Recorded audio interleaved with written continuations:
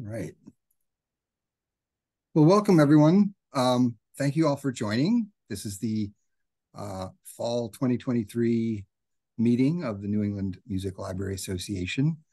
Um, my name is Terry Simpkins. I'm uh, Director of Discovery and Access Services at Middlebury College in Vermont. And I um, have somehow found myself as chair of New England Music Library Association for the year. Um, which I guess goes to show what happens when when you run for a position and are unimpo- uh, unopposed. so um, I'm I'm the current chair of NEMLA. Uh, I'm a long. Uh, my current job is not strictly music related, but I am a long time music cataloger, and I got my start in music libraries, and I've been a member of MLA and NEMLA uh, off and on for for decades, honestly. Um, uh, and I'm I'm glad to be getting back into uh, more music library related activities. Um, I'm also co-owner of a contract music cataloging business, so I've been doing that right along my whole career. Um, but that's me. I would like to give a quick introduction to the other officers of NEMLA. Um, we're all many are new this year, some are new this year, and I don't know if everyone is aware of who they are. And um, first off, I'd like to uh, give thanks. Uh, Memory Apata is the past chair. She was the chair last year. Uh, Hannah Farello, I believe, is secretary treasurer. Uh, Patrick Quinn is our equity, diversity, inclusion, and justice um, uh, member. Emily, Emily Colucci is a member at large. Jennifer Hadley is our newsletter editor. Peter Lawrence is our web editor. And Judy Pinnolis is our vice chair and chair elect and uh, chairperson of the uh, program committee in that role as chair elect. Um, and it is Judy's incredible efforts uh, that have brought us this meeting today and uh, our spring meeting, which is also scheduled. We have a really good, interesting meeting plan today um, on the unfortunately all too timely topic of censorship. Um, and I, I really I can't say enough about Judy. She came in a couple a couple months ago and just like hit the round, ground running and you know within weeks had this meeting planned and m- the ideas for topics. And uh, shortly after that she had pretty much the date and time planned for our spring meeting. So i want to give a huge shout out to judy for her work in making this meeting a reality um, today. Um, on that same in that same vein, yeah, huge huge claps for for Judy. Thank you, Judy. Um, also, uh, our spring meeting has we have a date and time for that and a place. Uh, that will be Friday, May thirty first, uh, twenty twenty four, at Smith College in Massachusetts. Many thanks to Marlena Wong uh, for agreeing to host uh, the festivities at Smith. That will be an in person. I think it may be hybrid, um, but you know, I hope I encourage everyone to to attend in person if you can. Um, I would also like to make a pitch um, for everyone to consider participating in some of our committees. If you have any interest in any of our committees, whether it's technical services or the Equity and Diversity, and Inclusion and Justice Committee, um, we also have a because we're planning the spring meeting. We really need people on the program committee um, we've put out a couple of calls on the on the list, and I know we get a lot of email, and they might get lost. Uh, it, most of the current program committee members have been serving on that committee for quite a while, and I think some are interested in rotating off. Um, so please, if you if you're all interested in programming or in, in brainstorming ideas for the spring meeting, please let either uh, me or Judy know of your interest. We'd love to have um, you know new folks on the committee. Um, that would be just a, a, a, huge boost. So please consider that. Um, we also have an opening for a NEMLA archivist. So if you have archival experience or if you know anyone who has archival experience and might be willing to serve in that role, I'd appreciate all tips, uh, clues. Um, you know, i am happy to cold call, but I I don't know who to cold call at this point, and and most and the people I've talked to so far are like most many of us sort of flat out and weren't able to do it. So uh, any ideas for that filling that role would be appreciated as well. Um, finally, I wanted to just say we have a little unscheduled time today from 1.30 to 2. Um, obviously, this is, you know, just kind of a, a chance to schmooze, schmooze and um, get acquainted. And I, don't know how many of you were at last fall's meeting, but one of the things we did discuss then, uh, sort of thinking about the state of our annual meetings, um, was how we can, you know, try to come at programming that is relevant and useful for the membership. And um, one of the things that we talked about was setting aside time at these meetings to brainstorm ideas. Um, so, you know, obviously the, the, the half an hour from 1.30 to 2 we can use any way we want. Um, but, um, you know, if, if people have ideas for things they would like to see at our spring meeting at Smith, um, that this would be a great chance to, you know, toss some ideas around and uh, maybe think of hot topics or anything that's of, of interest in the music library uh, world. So um, please feel free to use that time for brainstorming if if if you're so inclined. Um, I think that's it from me. Um, I, without further ado, I will turn things over to Joanna Fuchs, who will do the introduction for our first presenter, I believe. All right, thank you so much, Terry. Hi, welcome. everyone. I'm Joanna Fuchs. I am the metadata coordinator for arts and humanities at Brandeis University. And I want to thank Judy today for allowing me to be your moderator for this first session. Today, we have a wonderful talk by Joyce McIntosh. Joyce is the Assistant Program Director for the Freedom to Read Foundation, an organization dedicated to First Amendment education, litigation, and advocacy she has worked at the intersection of intellectual freedom, communication, and the First Amendment for three decades. Her background in education in journalism and library and information science have led her to work for newspapers, nonprofits, and for the last two decades in libraries. She worked in a public library outside of Chicago, Illinois, providing reference, programming, outreach, and assistive technology before joining FTRF, with FTRF and ALA, her work has focused on education about the First Amendment and censorship. And how do we help libraries navigate challenges in their school and public libraries? So today, Joyce is going to present on these topics, and I will be moderating. I will be watching the chat for questions, and we will have time at the end for a Q&A session. So Welcome, Joyce, and we look forward to hearing all about our First Amendment rights and in the library world. Thank you so much. Let me go ahead and just see if I can get my screen. Can everyone see that just fine? Very good. Well, thank you for inviting me. I didn't realize Judith was new to her position. So if she's only been doing it a few months, you can all rest assured that she hopped on it immediately. So I appreciate the invitation so much. Um, I do use a slide deck, and if there are illustrations on the deck, I want to note that they're by an illustrator named Jaclyn Sinquett for my neighbor and friend Lisa Katzenberger's book, It Will Be Okay. And this book, It Will Be Okay, is a children's book that came out during the pandemic. And I thought this could not be better timing. And I found that her book and the illustrations were appropriate for that time. I find them helpful when I'm grappling with our our just uh, deluge of challenges right now in scary times, but I also find the message hopeful. So I just always like to give her credit, and she always has given me permission to share her images. All right. Um, some of what I'll go over today, many of you as librarians will be familiar with some of this, but hopefully you also come away with something new that you can apply either in your workspace or in your community. Certainly, we'll talk about what's going on around us, um, a little bit of background about the law related to First Amendment. I'm not an attorney, therefore anything I say is informational.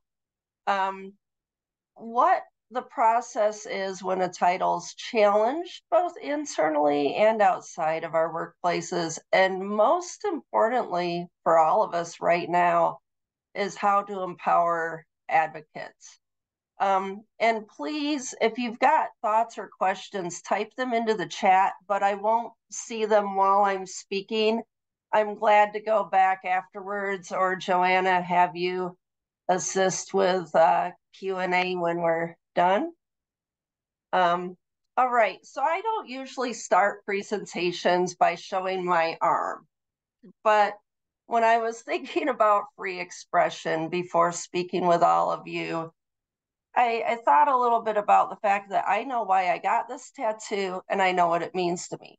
I know why the staff at the bottom is empty, and I know why the high note from O Holy Night is on top. Some people look at my tattoo and they're like, ooh, that is a big gay tattoo because they see a rainbow. Some people look at my tattoo and they're like, oh, bless your heart because they see a Bible verse and they see a dove. And as librarians, this concept of providing access to information and not judging content and not trying to figure out why people want the information that they're gathering or checking out or using is clear for us. But so often that knowledge isn't clear for our trustees, sometimes our library staff, our students, our patrons, our community members, especially it's not clear to those who would censor a piece of music, an image, or other library materials based on their own viewpoint discrimination. So during this time, it's our job to help them understand. We help them understand what a library is and our First Amendment protections to use information, help them understand the tools that they can use um, to ensure that censorship doesn't get in the way of their right to choose the materials they want. Um, and I hope that we can all think of ways to reach those communities with that message in a clear, nonpartisan, supportive way so that we all have um, access to information.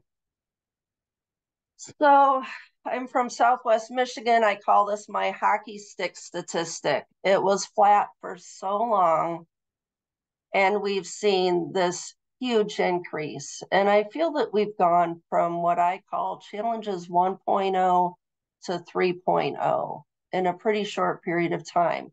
We started out with a one on one challenge. A patron may come to me in the public library and say, I don't like Harry Potter, it's witchcraft get it out of here. And you'd have a one on one conversation and s- explain why there's something for everyone. Can we help you find the book for you? If they weren't satisfied, we do have a process you can follow. Here's the form. Then we moved into the second phase.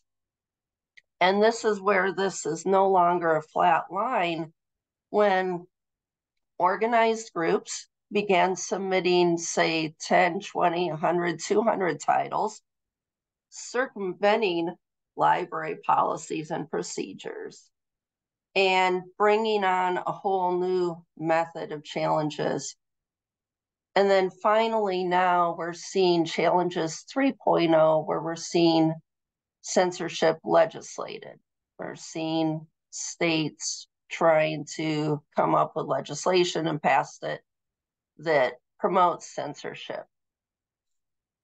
Um, uh, one thing I didn't touch on here in that sort of all three of those stages, and what's hard is that as librarians, we have to be prepared for any of those at any time, regardless of an, our environment.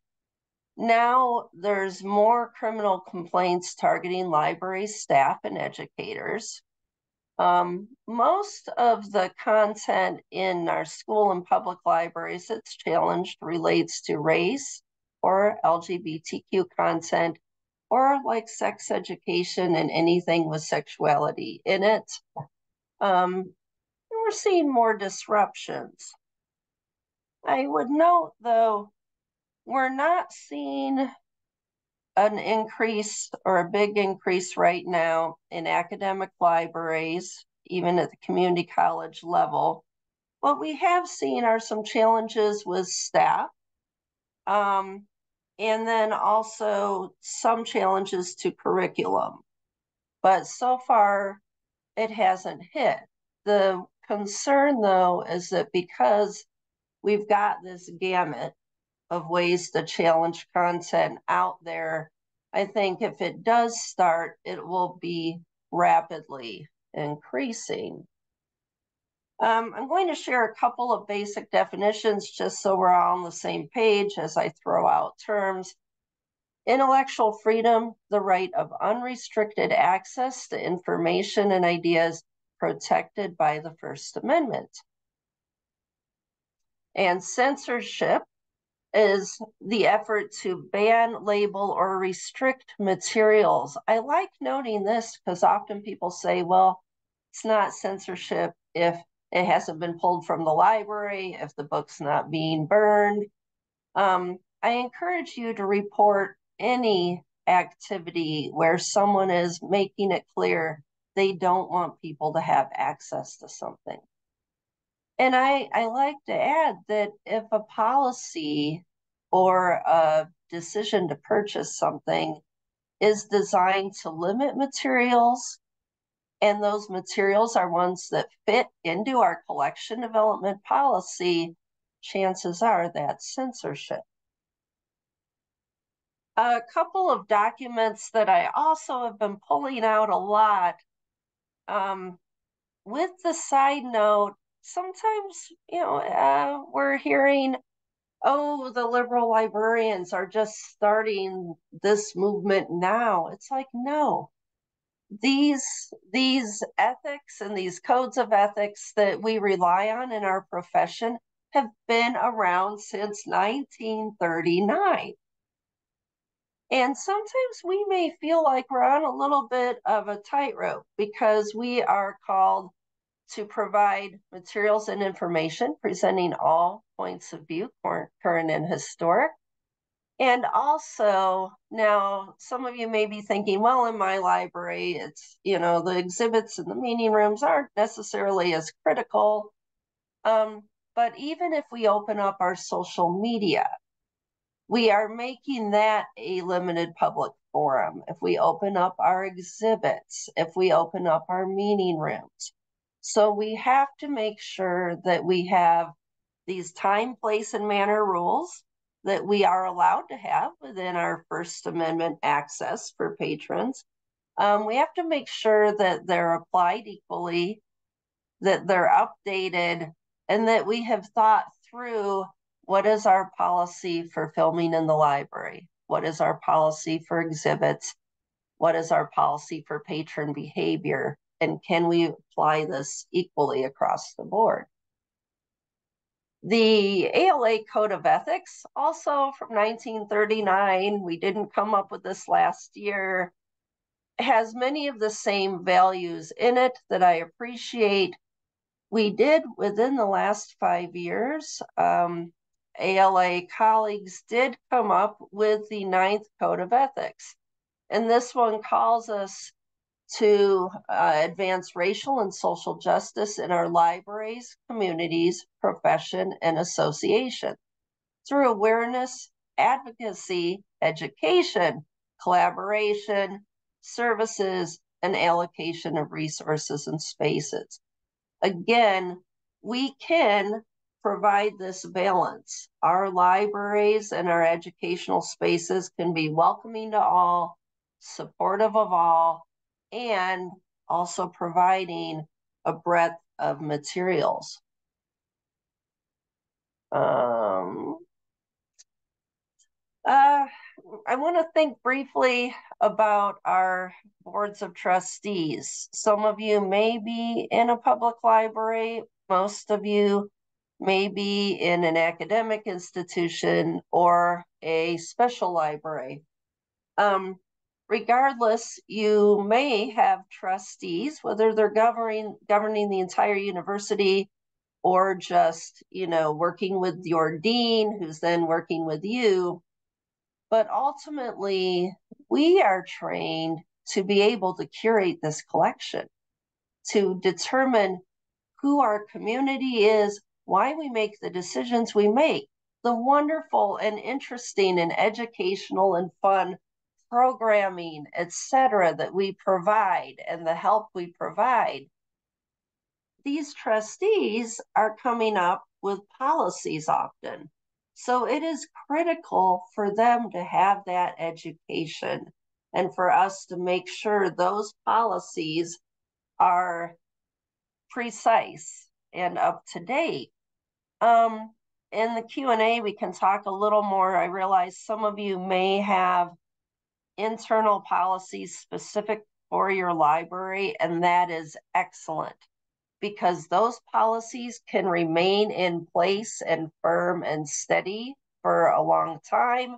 Whereas trustees turn over, trustees get elected every few years. And if your policy is residing there, it may become much more complex.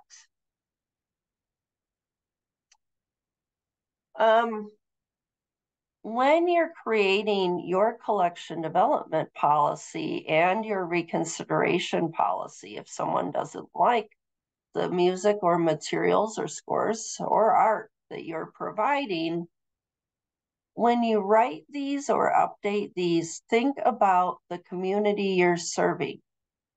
Often in a public library now, they may say only card holders if you're at a community college that also serves a region of your community, you may or may not be required to say, okay, anyone in this region can bring a challenge. Or you might just be able to say only registered students may bring a challenge. So think about the community that you're in, think about those boundaries. Um, and then make sure the, the process is written out for reconsideration and transparent. And this is another thing that I never thought of a few years ago, but now I um, suggest there should be an end to the process. You either say the library director's decision will be final, or you may appeal to the board of trustees. Their decision will be final and say how long that decision will remain. We will not revisit this material for X amount of time, or it will be removed for X amount of time. I want to talk a little bit about student rights. Now, what's interesting is that many of you may be working with adults and young adults, and that is another reason we have not seen the level of challenges in our university and college uh, libraries and special libraries because we're dealing with adults. Um, those of you in a public school, sometimes parents are like, no, we have rights. And usually they do. Usually there's an opt out option. But when it comes to First Amendment cases determined by judges, judges have favored the First Amendment rights of students and that they don't lose those rights when they walk in our classroom doors. But what if you have someone still saying that this content is harmful to minors or pornographic or obscene, or you may have kids in school and their school district may have parents standing up reading one racy sentence, or holding up one image. The fact is, these are legal definitions, and saying it doesn't make it true. Some people may feel my tattoo is obscene, or that the lyrics by Megan Thee Stallion. I might note that Megan Thee Stallion is in like the top three percentage of swear words in her musical content. But just saying that content is obscenity does not make it true. Um, if a challenge ever got to this point, a judge would say, well, you have to follow your collection development and reconsideration policies. And frankly, if a group has tried to circumvent those, you don't have a challenge. You must follow your policies. And then they would look to the Miller test to determine if content is obscene, and they would look to another to determine if it's harmful to minors points two and three, or yeah, points two and three of the Miller test note that materials must be taken as a whole. You cannot say because the lyricist dropped that F bomb, it's obscene and we should label it and we should segregate it in the collection. A material must be taken as a whole it must meet all three of those criteria, and a judge would make that decision. So far, with the books that have been challenged, no judge has declared that any of these titles are obscene, pornographic, or harmful to minors. And that is one of the things that gives me hope in this time of many, many challenges. The fact that our judges and our courts are currently relying on the First Amendment and case law to make these decisions. Ginsberg versus New York, that's the one that wasn't at the top of my mind. Um, if a judge determines that something is harmful to minors, they'll use the Miller test, but they'll adjust it for age. And they'll adjust it to the highest age in that group. So when a parent is looking at a school district and saying, my kid could be reading genderqueer, and we're looking at their kindergartner going, no, your kindergartner doesn't have access to that. The librarian has determined where to catalog it, where it properly belongs, and that's where it is. Um, so why should we be out here even if our libraries are not facing challenges what can we do and why should we be out here pushing for advocacy and after the last few months my answer is always so clear it's because our libraries should not receive bomb threats our librarians and our colleagues should not get fired because of a small group's loud viewpoint discrimination. We should have the right, and we do legally have the right to adhere to our collection development policies and provide access to the amazing tools and resources and scores and opportunities to learn and hear for all of our patrons without being nervous about whether someone's going to disagree with that concept. I want to note a new study that's coming out. This is focused on classrooms, it is focused on books.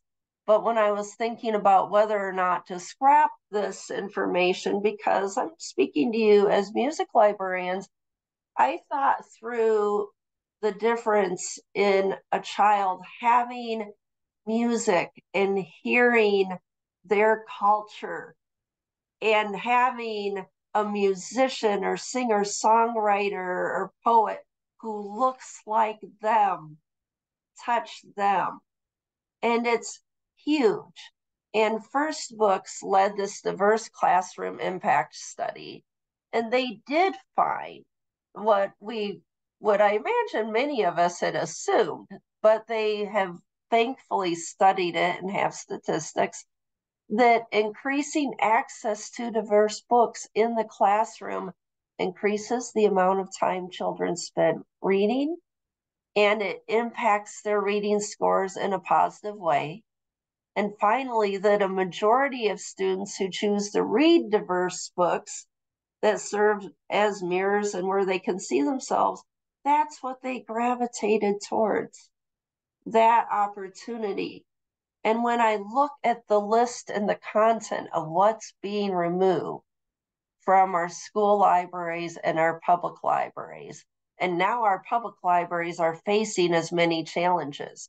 it used to be just K to 12 public schools, but now, unfortunately, public libraries are equal in this. That's the content that's being removed. Those are the topics that are being threatened when people try to pass legislation.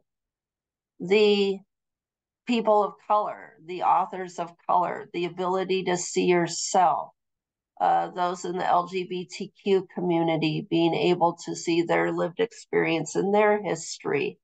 Um, so we're at this point now where we must all become advocates and help other people become advocates. Um, the key is right now is to run for your local school board or library board. If you have an election up at your school, please encourage well and you may not be able to stick your neck out or say a single word in order to not show preference for a certain dean or president or person who's running for office. Um, get somebody else to encourage supporters to run for boards. Um, let me talk about the various entities that I work with. And then I want to also talk for a few minutes about Unite Against Book Bans and the purpose behind that initiative. Um, so I work with the Freedom to Read Foundation, and the word that separates us from ALA is litigation. We are a separate nonprofit we can focus more heavily on the First Amendment. That means sometimes we can be a little more edgy and a little more involved, and we can litigate. And in this time, we are doing more of that than ever. We're helping people with HB 900 in Texas. We are assisting several folks in Florida. We will join a brief, we will write a brief, we'll provide expert witnesses and testimony. Um, and therefore, I encourage people to look into the Freedom to Read Foundation. If you find yourself in a situation in your community where there are people who are saying what's going on is not legal, and we have some people who would want to bring suit because information has been removed from them call us up. Let's have a conversation and find out what's really there. Um, the ALA Office for Intellectual Freedom. Again, I encourage you if you have any form of situation. Uh, recently, with a community college, we had a person reach out to me, and you, all of this is confidential. The support is confidential. I will never say, Oh, Judith, Terry called me last week to talk about such and such. No. And if you want to send it in on your Gmail account or your Yahoo account, please do to avoid FOIAs. Um, but reach out with anything. So, this instance in a community college somewhere in the United States was where a staff member said, I'm not going to catalog these materials. This does not match my theology. I'm not comfortable with this content. Therefore, I'm just not going to catalog it. I'm not going to do it. And in that situation, yes, you have censorship. You also have, um, you know, an HR situation at that point. Always the key is to remain calm, find the solution and address it in a practical way. Um, which can be hard when you're like, oh my gosh, this is censorship, it's reached me. But if you run into a situation, if you see where someone is taking down exhibits, please report it.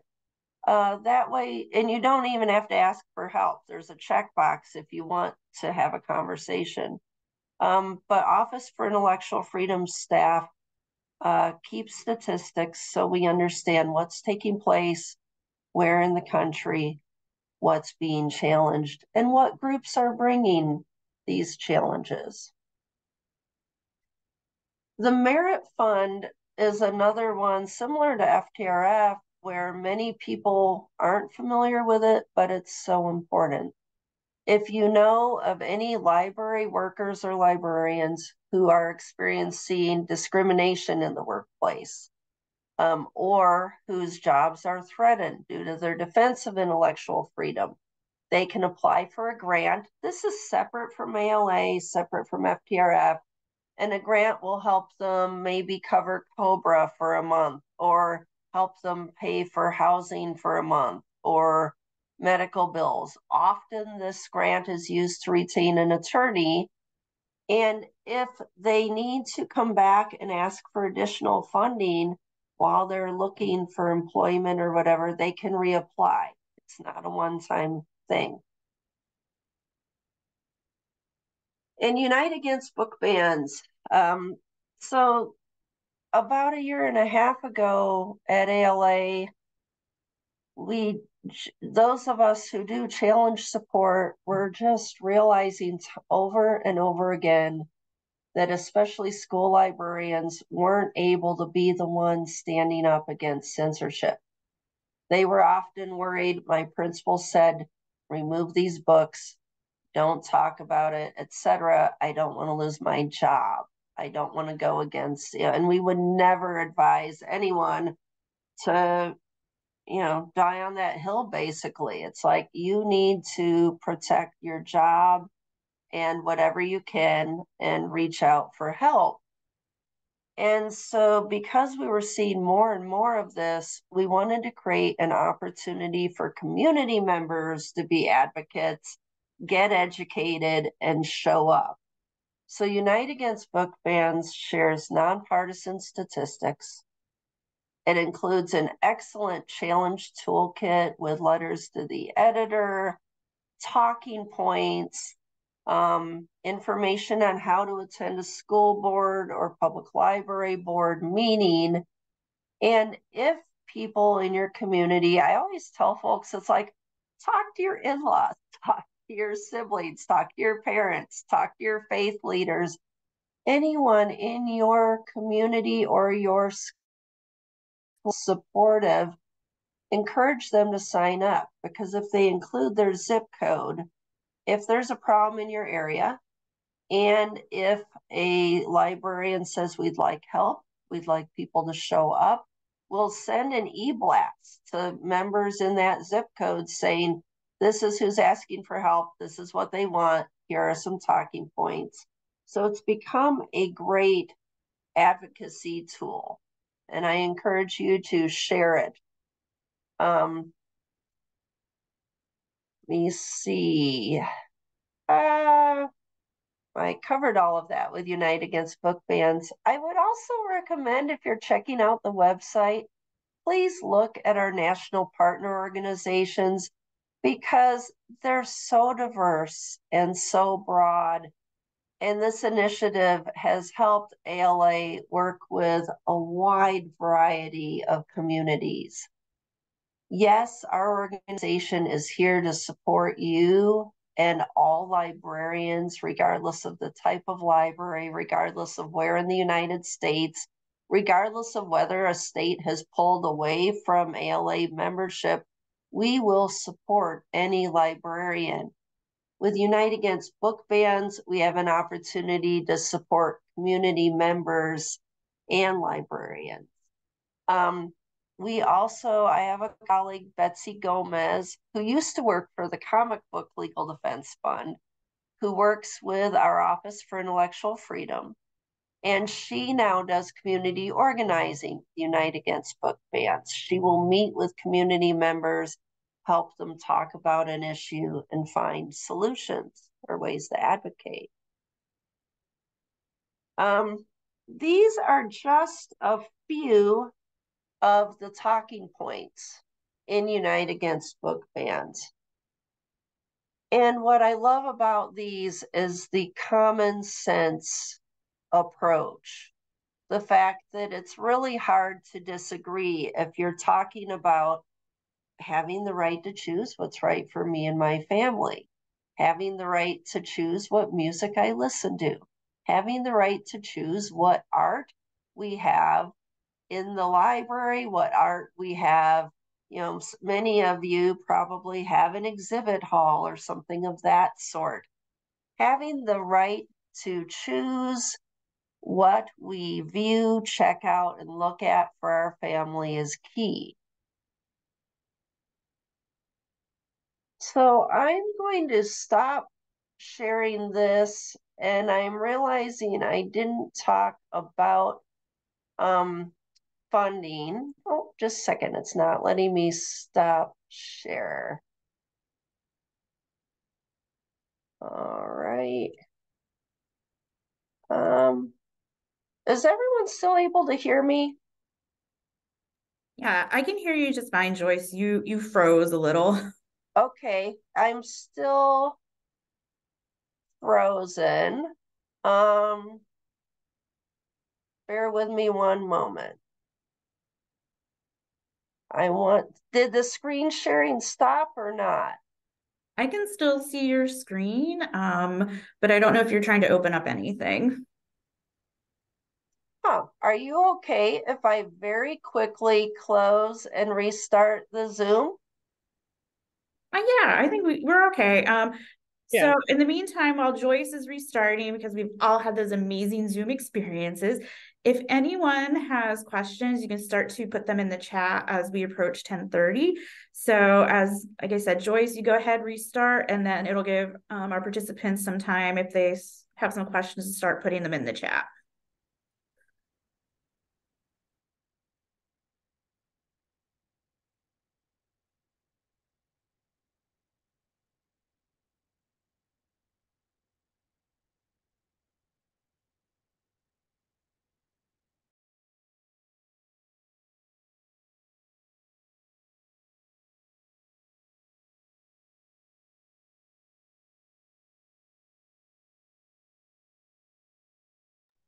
Think that she's off now. and we are still recording. So does anybody, uh, you have some questions in the chat?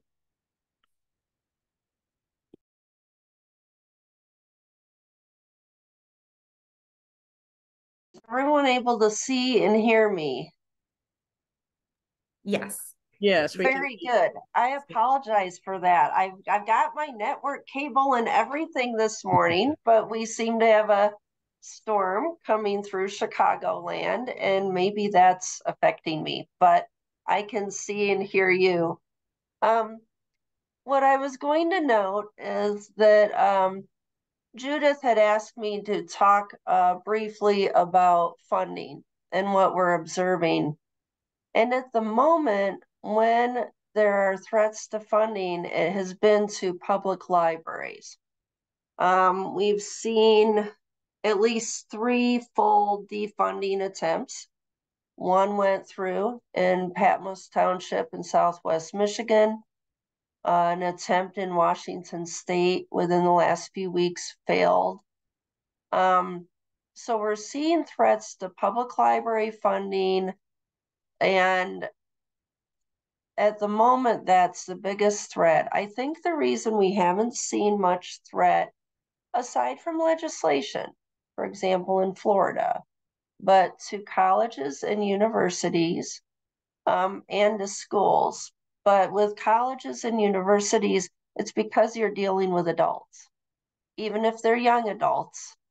Um, we're not seeing that threat, and often there are many more layers to attempt to defund or take money away from a college. For some reason, that hasn't been given the attention.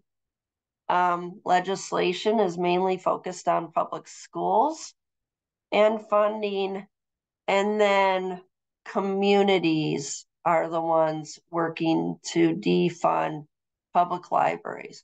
What is, of course, frustrating is that this may be a few loud community members.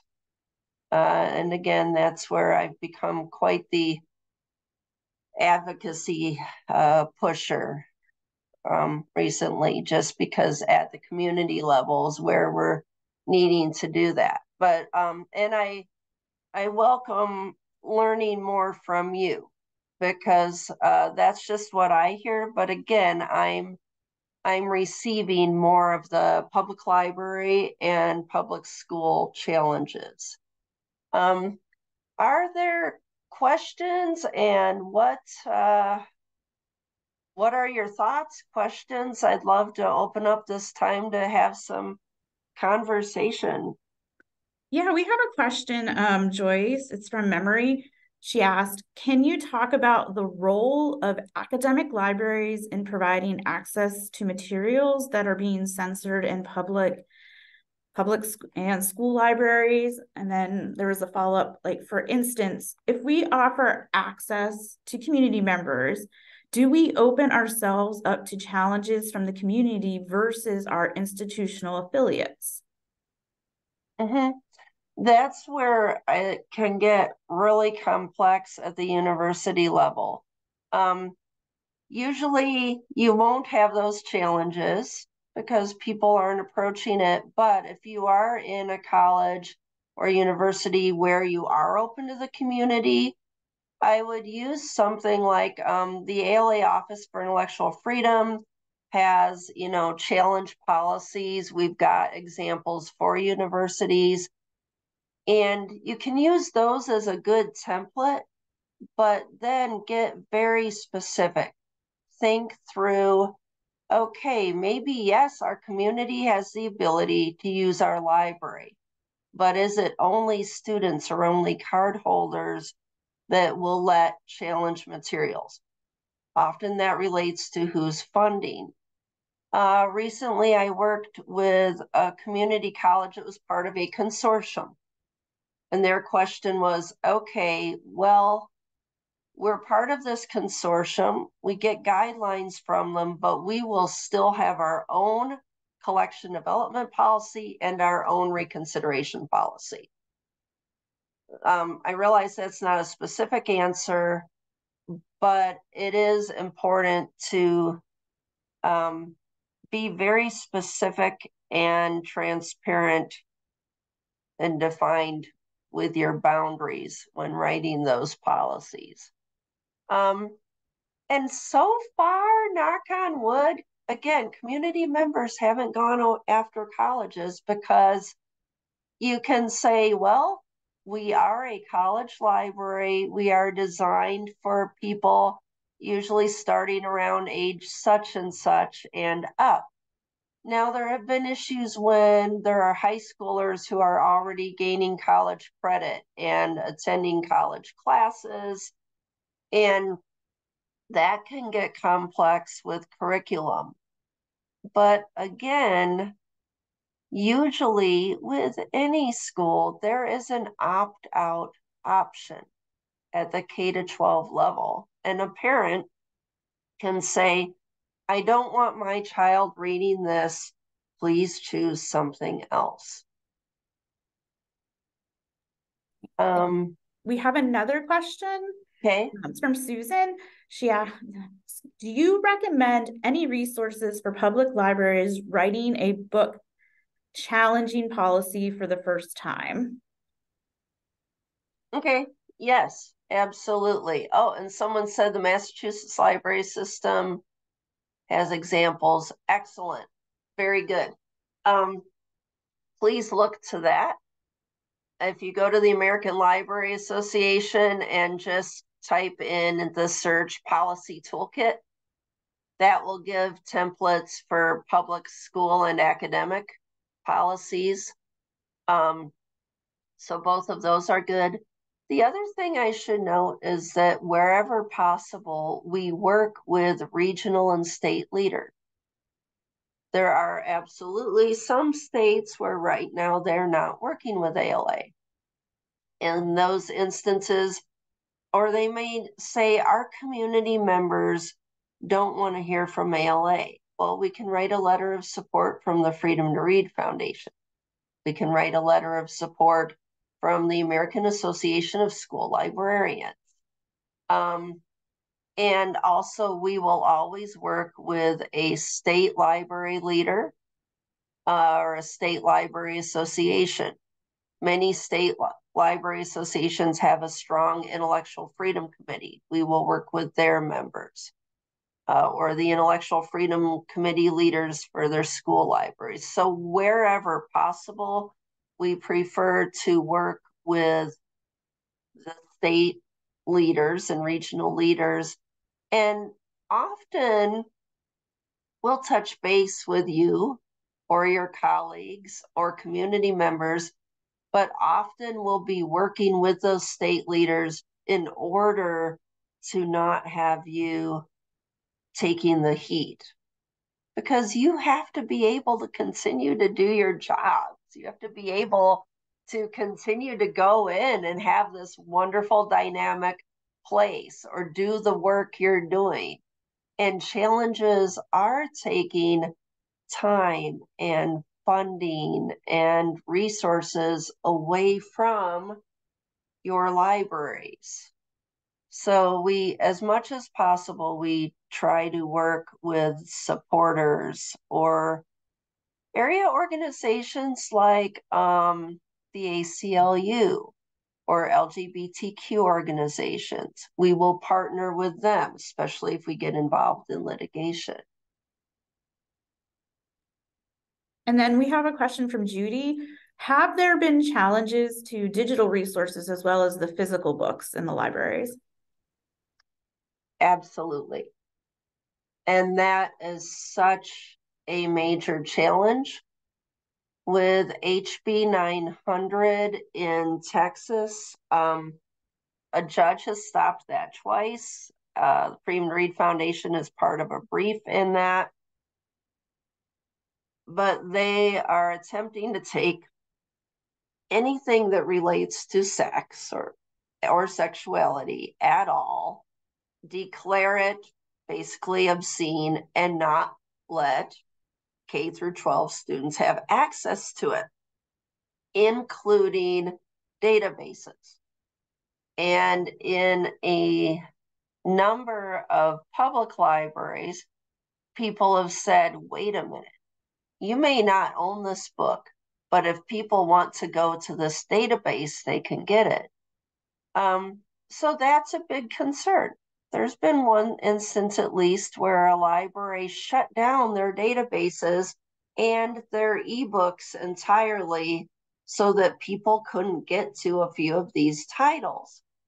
The problem is that this was a rural area with and with many homebound people and they couldn't get to their materials. At that point, you do have a legal case because you are preventing access to information that's protected by the First Amendment to your patrons.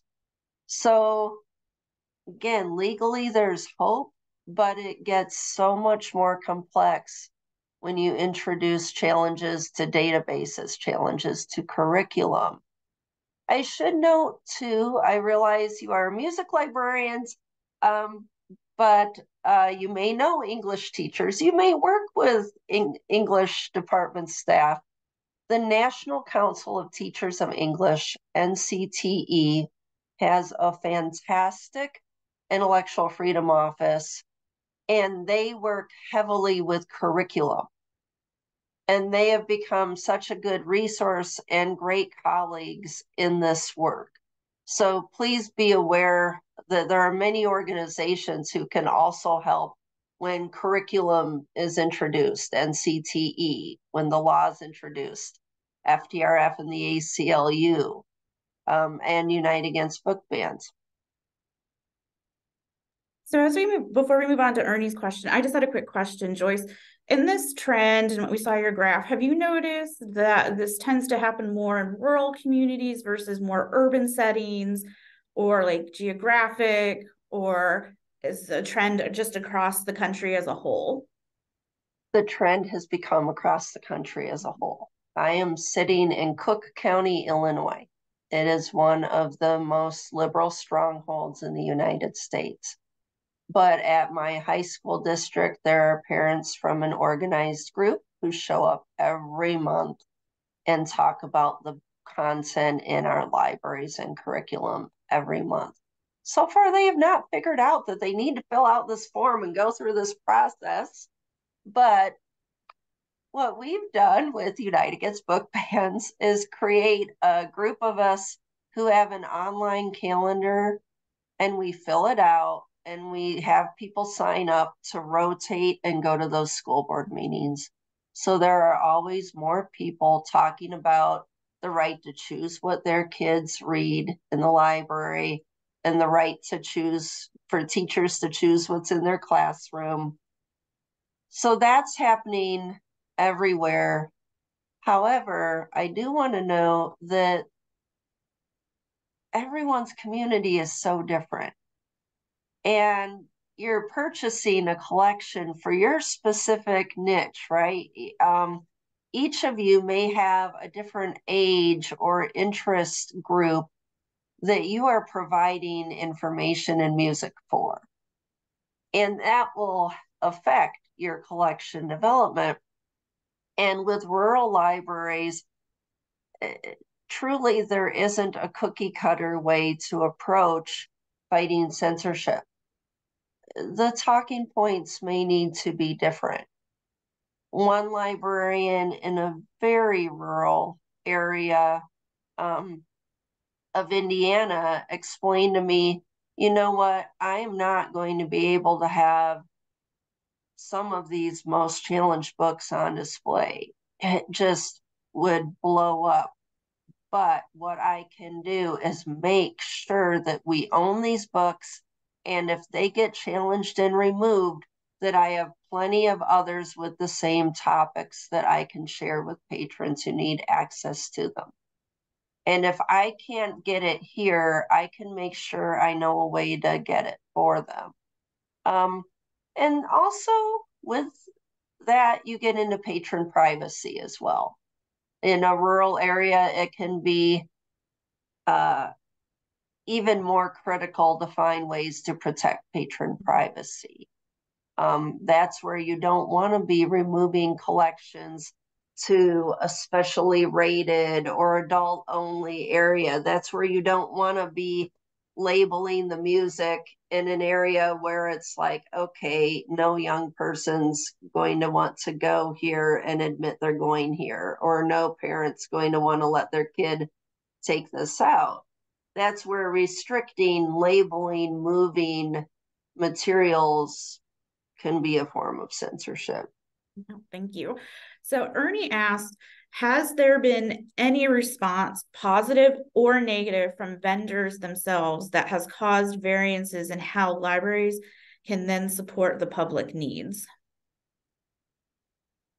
Um,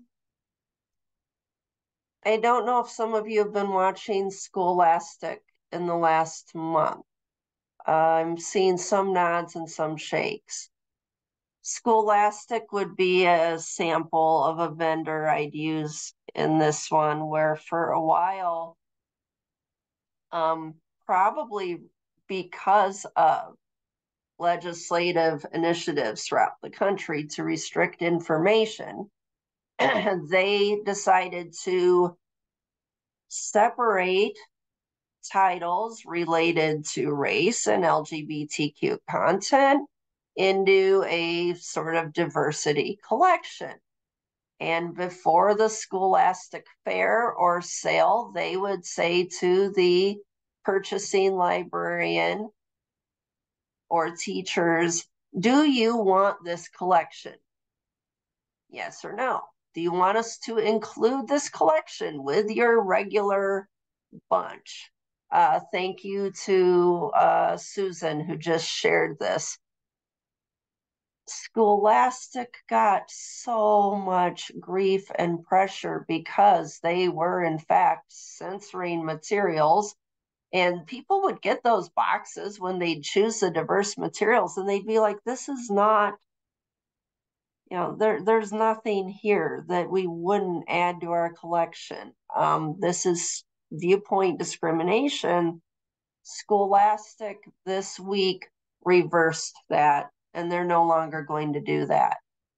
Um, this was by far the most visible example, but absolutely our database vendors are struggling and understanding how to do this. In some instances, if a library has said we're dropping like ProQuest or something, or we're dropping this ebook group like Hoopla, I'm using that as an example, not as one that occurred. Um, uh, like Brooklyn Public Library would say, okay, we're giving everyone open access to everyone can have open access to our databases. I mean, people are pivoting, they're finding ways to provide it. Um, but it is so challenging for them too. I'm not excusing Scholastic. I mean, I was very thrown when they initially did that.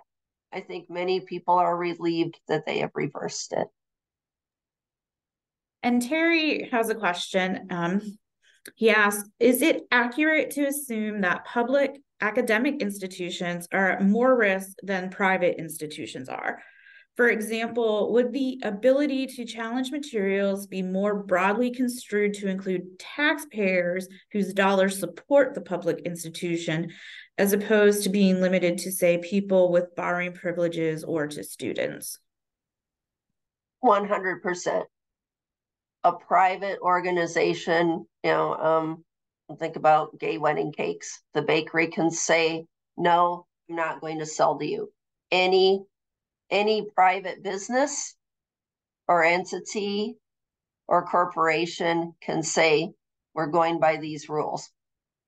Anything and anyone publicly funded has to adhere to First Amendment protections. So our First Amendment protections apply to government entities. Um, whereas private entities, they don't apply. Is it our hope that in all of our private institutions, we are still adhering to these same values, still having the same policies and the same processes? Absolutely. But yes, a publicly funded institution is much more open to challenges and scrutiny. Joyce, that's interesting because I was assuming the opposite. I was assuming that a public institution might, you know, might be just open to a challenge from anyone just saying, I pay taxes, I don't like these materials in my public institution. But you're saying because they're publicly funded, they actually they actually have more First Amendment, you know, protections than than privates do. So that's that's really interesting. well, not... they'll get more challenges. They'll get more absolutely. challenges, but they'll okay. absolutely receive more challenges, and yeah. it's awful. Um, but it might be harder to enforce. Protections them. don't really hit until you get to the point where something's going to court. Right. So you have to truly hope that your board, who's elected, you know, you're hoping that they are against censorship. You're hoping you've been able to educate them to put aside their personal beliefs, not practice viewpoint discrimination, and uphold their fiduciary duty. Yeah. But the thing is, because it's that whole public government institution, they have much, you know, they're held accountable in a different way than the private organization. Great. Thank you. Joyce, kind of to follow up on kind of what Terry just said and what Memory had mentioned earlier, and this has kind of been in the news too, um, in terms of universities, but restricted donations from big do like don't like board of trustees, and how does that play into kind of censorship?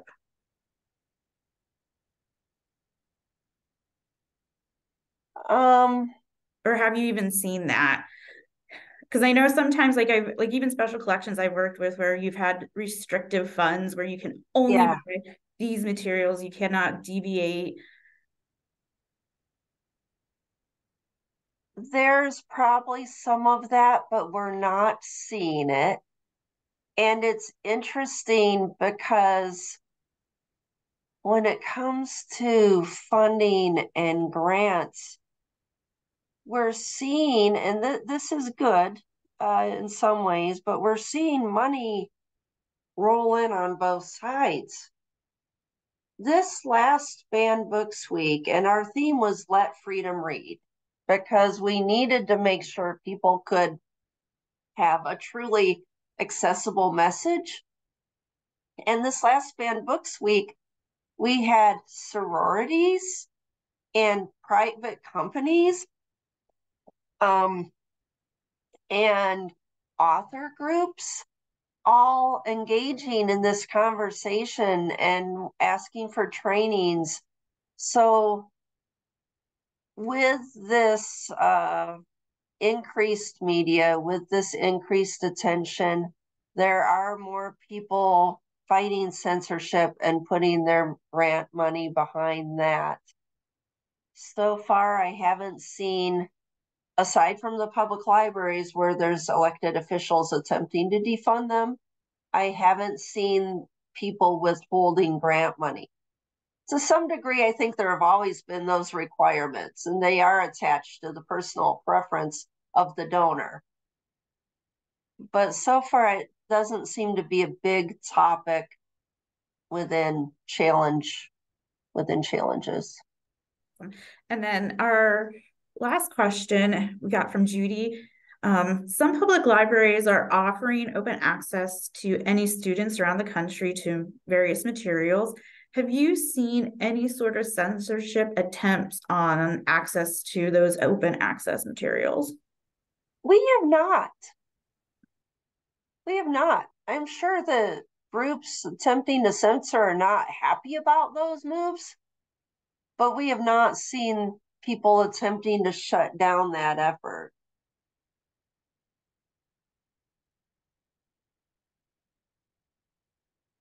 All right. Any last minute questions? We are about at time. It is 1054 which gives us about five minutes for a quick break before the next session. So, all right. All right. Well, thank you so much for inviting me today. I truly appreciate this time.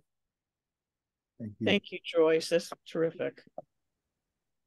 All right, and feel free to reach out after uh, if anyone has questions or comments, or Judith, feel free to get back to me if you have any reflections. This is great. A lot of information and a lot for us to digest and think about, and um, activities that we can participate in and make things uh, uh, great for freedom to read and intellectual freedom around the country, not only in our individual libraries, but in our communities. So thank yes. you. Yeah. All right. Thank you and have a wonderful day of meeting. Thank you. I'm going to stop. Okay. Bye.